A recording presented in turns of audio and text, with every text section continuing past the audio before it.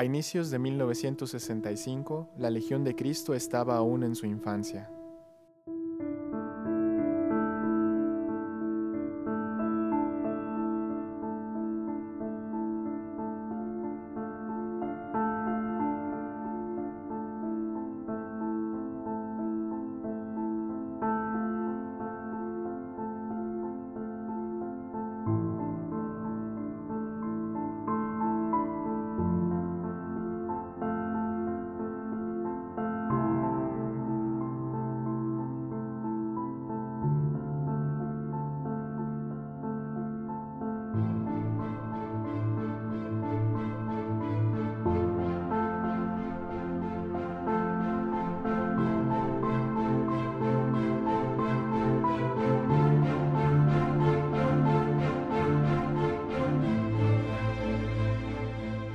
Mientras en una fundación cada día es importante, hay ciertas fechas que señalan un hito.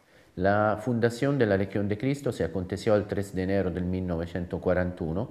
Eh, eh, fue una fundación de hecho porque canónicamente eh, tenían que proceder a todos los pasos canónicos que llevan a la aprobación pontificia.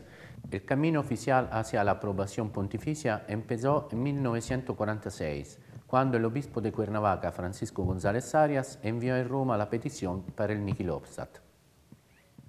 Y Niki fue concedido por la Santa Sede en el, el 25 de mayo de 1948 y algunas semanas después el entonces obispo de Cuernavaca, Monseñor Alfonso Espino Silva, erigió canónicamente la Congregación de los Misioneros del Sagrado Corazón y de la Virgen de los Dolores, eh, que serían los actuales eh, legionarios de Cristo. Con la erección canónica, los legionarios eran eh, de derecho diocesano y desde 1948 hasta los primeros años 50 dependía de la, de la diócesis de Cuernavaca y después pasó a depender de la diócesis de Roma con el cardenal Mícara. El paso sucesivo sería la, el decretum laudis, con el decreto laudus, una, una congregación deja de ser de jurisdicción eh, diocesana y pasa a ser de derecho pontificio. Y es el primer eh, eh, documento de aprobación pontificia con el cual la Santa Sede alaba y recomienda el trabajo de la congregación. Y además la Santa Sede aprobaba a, a, ad experimentum las constituciones de, eh, la congregación que se habían entregado a la Santa Sede y eh, eran entonces eran en latín. En aquel entonces, el prefecto de la congregación de religiosos era el cardenal Hildebrando Antoniuti. El congreso plenario de la congregación de la Sagrada Congregación de Religiosos se aconteció el 6 de febrero de 1965. Al día siguiente, que era domingo, el eh, cardenal Hildebrando Antonuti se presentó en la casa más o menos a eso de las cuatro, cuatro y media de la tarde. Estuvo hablando con el fundador durante una media hora y después todos pasamos al salón de conferencias.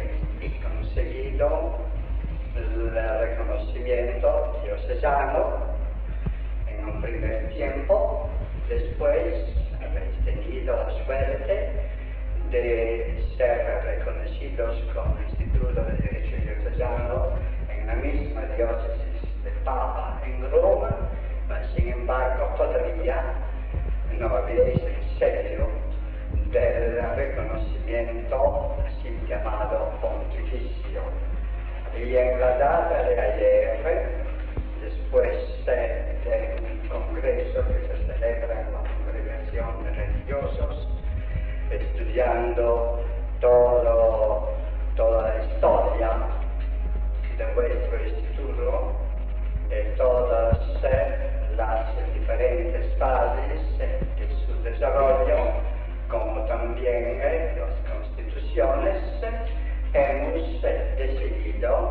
de el decreto de alabanza.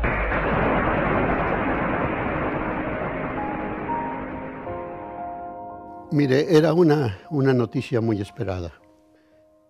Al acogernos la Santa Sede con el Decretum Laudis, pues prácticamente universalizaba la legión, la hacía, la hacía abierta pues, a todo el mundo.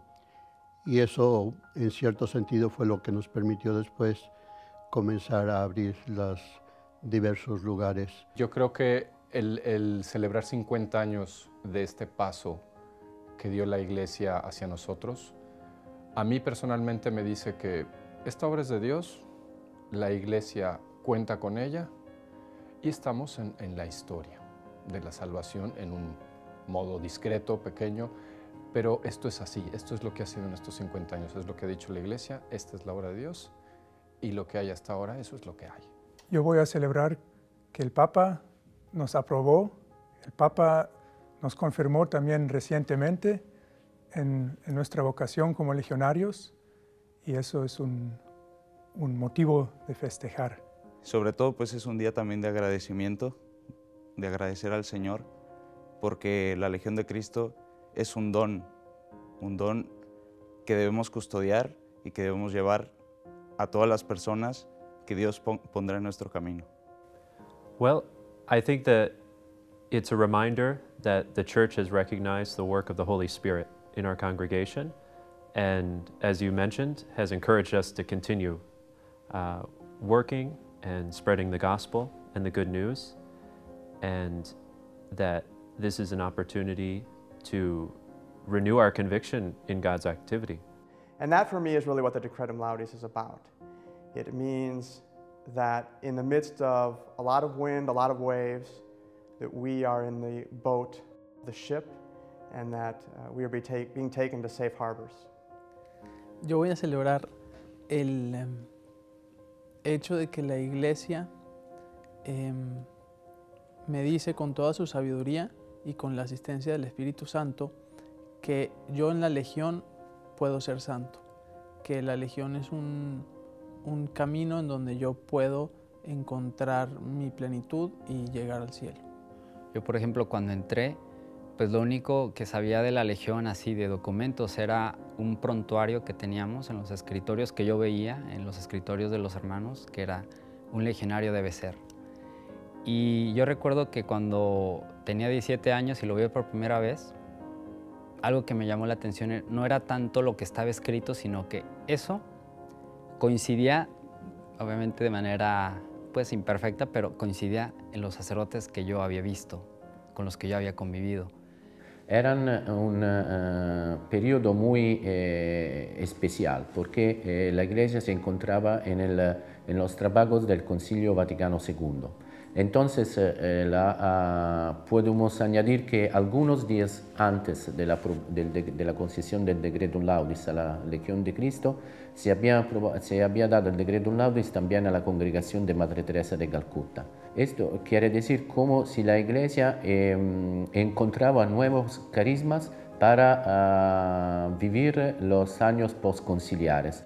I think you find so many people today, you know, me included, that can easily list the problems of the world, the problems of the Legion, their own problems, problems, problems, problems, problems, you know. But I think we need to be the ones to change it. And so when you look at um, your own life and the life of all these brothers here, I personally get really inspired to say, wow, there's a lot of good here. And we are the ones kind of changing the problems that we see or, or creating good. Si uno contempla con objetividad lo que ha sido el desarrollo de la congregación, pues no puede más que decir, aquí está el dedo de Dios. El reconocimiento oficial es una prueba de confianza en vosotros.